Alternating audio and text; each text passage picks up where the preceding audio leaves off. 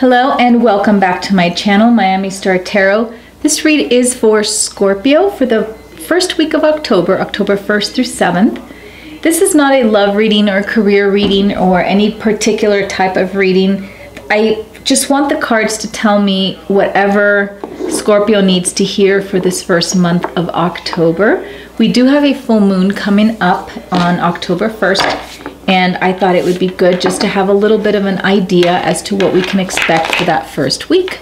Okay, I will be doing a three card spread. It's a mini read and an underlying energy. So let's find out what's going to happen with Scorpio during that first week of October and the full moon. These cards a good shuffle for Scorpio.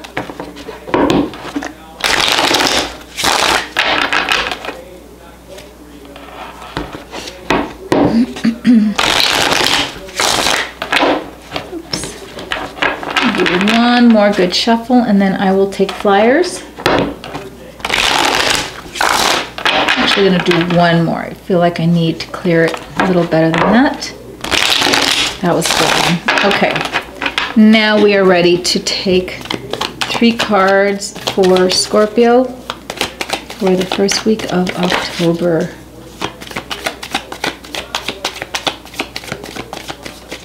So far, most of the reads have been about love. Because I think that's really on a lot of people's minds.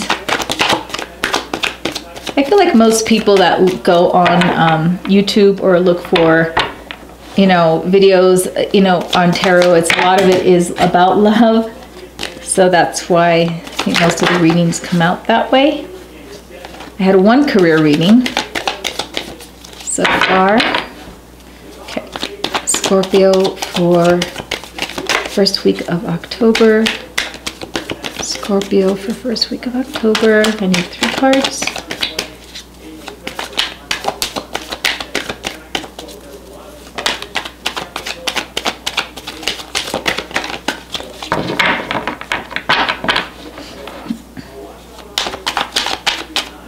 Three cards. There's one.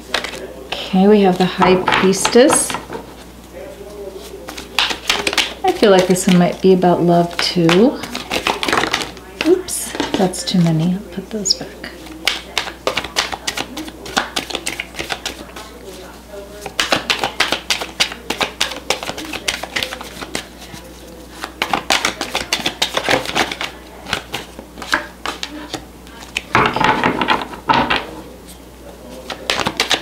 Nine of Pentacles.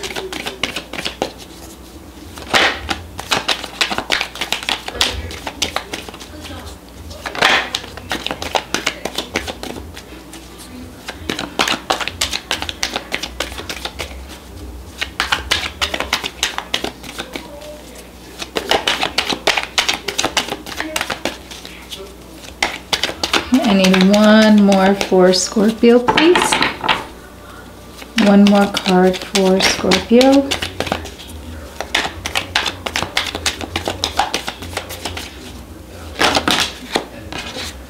take that one and not these. All right, two major arcana cards. And it looks like Scorpio is inquiring about love, all right? There you go. Okay. You have two major arcana cards. One is about um, intuition, secrets. Um, it's about keeping things to yourself. And you have, amongst other things, and you also have the star, which is about like inner transformation, um, becoming the person that you want to be. And you have the Nine of Pentacles in the center, which leads me to believe, Scorpio, that you are a little bit at a crossroads as to what you're going to be doing. Um, you are you have the seven of of wands as your overall underlying energy, which leads me to believe that you are in a situation where you feel like you have to defend your position for something, okay? Um, honestly, it feels like you you have a secret, okay? What that secret is, I it's it's not really telling me, but it's a secret that I feel that you are not ready to share with anybody. And it could be about love. I am going to do a clarifier, even though I don't really do this for this kind of spread. It's something that I feel it's self-fulfillment type of secret, but you're not really ready to share, okay?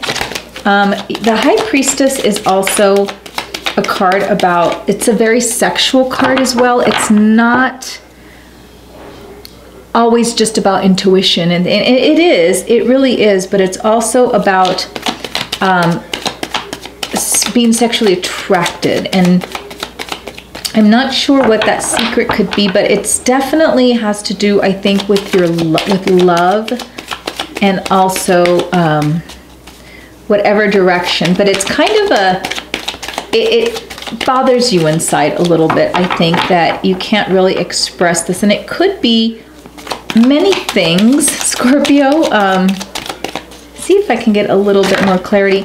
But I feel that it's you will be happy. You feel like it's you, and that's who you are inside and what you want out of life. Now, it could definitely be um, your sexuality, about that.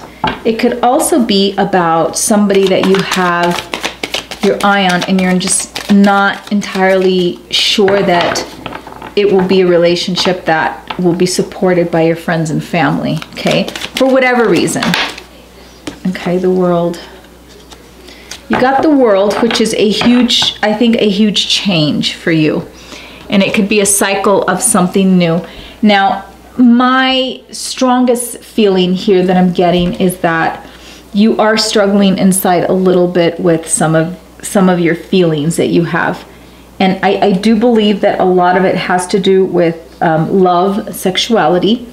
Um, it doesn't necessarily have to be that maybe you're having feelings for same sex. It could be that. It could also be a person that you're not sure that you're ready to come out and let them know how you feel. It's obviously something that you hold very dear inside of you and you're just not ready to express how you feel.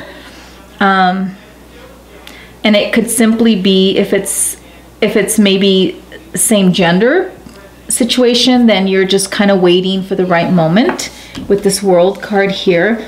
But either way, it's definitely it's who you feel you are inside and who like that once you're able to express that, you're going to feel very happy. Okay? And very much like you can be the person that you are. Um, if it's not that, then it is a person that makes you feel very happy inside, but you're just not ready to express yourself and I feel like some of it has to do with the reaction of maybe family and friends. Okay, if you're male and you're you know in love with a certain female, maybe that person is not someone that your family would approve of for whatever reason, okay? So the high priestess is really talking kind of more about the secret and the the sexual part, you know, that lusty kind of feel behind the secret that you have. For whatever reason it's you're keeping it a secret. Uh, you know that's up to you scorpio okay? So your read was a little bit i think more um, restricted to very few people out there scorpio but that's that is the feeling i'm getting from this these cards okay? So um, yeah maybe that's just something that this this first week of october you're really going to be giving a lot of thought to okay so that's all I have for you, Scorpio. Um, please leave me some feedback. Like my channel, subscribe if you'd like to see more. And thank you for watching, and I'll see you later, Scorpio. Bye-bye.